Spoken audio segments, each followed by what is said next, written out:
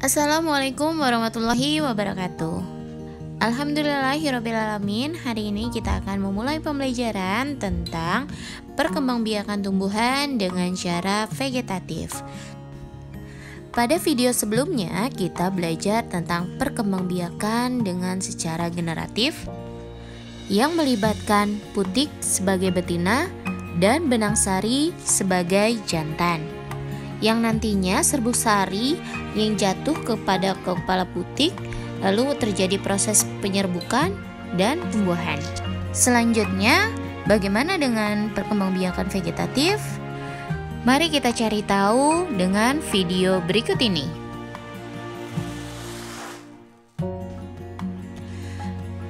Perkembangbiakan vegetatif adalah perkembangbiakan tumbuhan yang hanya melibatkan satu induk saja.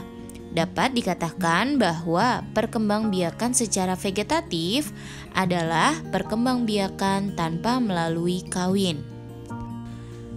Perkembangbiakan vegetatif ini dibagi menjadi dua macam, yaitu perkembangbiakan vegetatif alami dan vegetatif buatan. Vegetatif alami yaitu tidak melibatkan campur tangan manusia. Contoh dari vegetatif alami adalah spora. Kotak spora atau sporangium akan pecah, lalu spora akan keluar dan jatuh di tempat yang cocok. Spora akan tumbuh menjadi tanaman baru. Spora fungsinya mirip dengan biji. Apakah kalian tahu contohnya?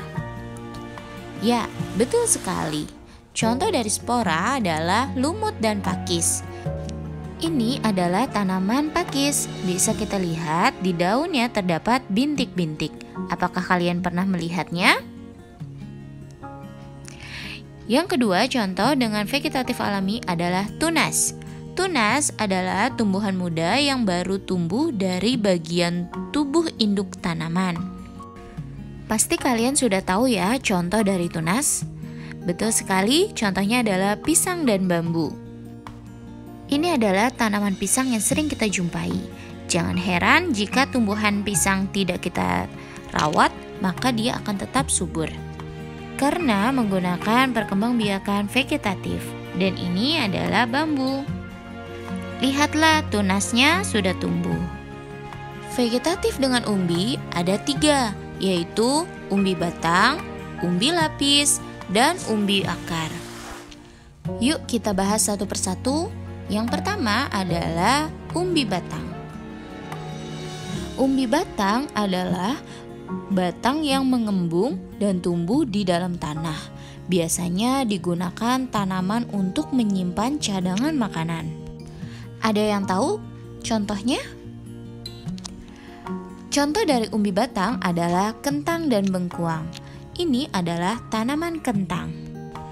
Pada saat kamu menanam kentang, nantinya akan tumbuh tunas-tunas baru yang akhirnya menjadi tanaman kentang. Yang kedua adalah umbi lapis. Umbi lapis adalah lapisan-lapisan daun atau susunan yang berlapis-lapis yang mengelilingi batang dan tumbuhan di dalam tanah.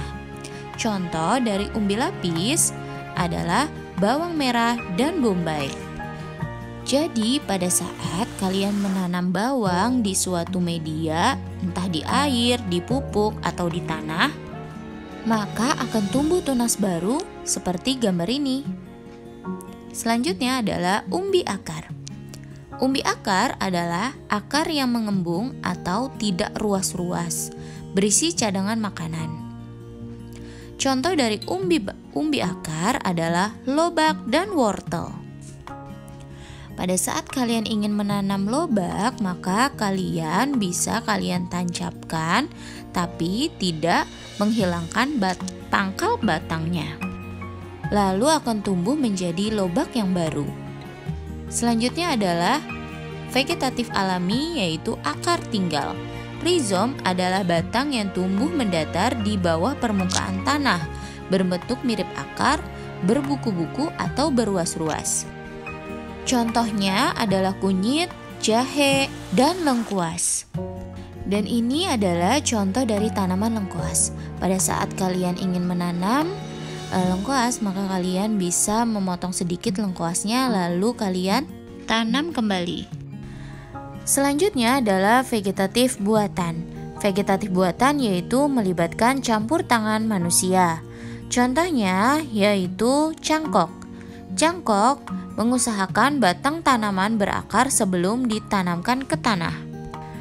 Langkahnya adalah mengupas kulit batang, lalu membungkusnya dengan tanah humus sehingga akar tumbuh di bagian yang tadi dikupas. Contoh tanaman yang dapat dicangkok yaitu apel, mangga, dan nangka. Selanjutnya adalah steak. Steak adalah memotong bagian tumbuhan, kemudian ditanamkan dan dapat tumbuh menjadi tanaman baru. Contoh dari tanaman tersebut adalah singkong dan mawar. Contoh langkahnya, yang pertama, potong batang singkong, lalu kalian tancapkan ke tanah, dan dia akan bertumbuh menjadi akar dan tumbuh menjadi tanaman baru. Tanaman ini tidak hanya untuk stek batang, tetapi stek daun. Kamu tinggal mencabut daunnya dan menanamkannya ke tanah. Contohnya adalah tanaman cocor bebek. Selanjutnya, sambung. Sambung adalah menggabungkan dua batang tanaman yang sejenis. Contohnya, dari tanaman tersebut yaitu singkong dan mawar. Perhatikan pada gambar batang mawar tersebut yang nantinya akan disambung. Lalu diikat dengan baik agar menyatu dengan sempurna. Biasanya hal ini digabungkan untuk menyatukan keunggulan dua tanaman. Dan ini contohnya ketika batang mawar merah digabungkan dengan batang mawar putih. Selanjutnya, merunduk. Runduk yaitu mengusahakan bagian batang tanaman agar mengenai tanah atau dirundukkan, kemudian dibenamkan oleh tanah. Perkembangbiakan dengan cara merunduk yaitu apel dan stroberi. Perhatikan contohnya. Ketika tanaman tersebut, ya batang tersebut dirundukkan, maka dia akan menjadi sebuah akar.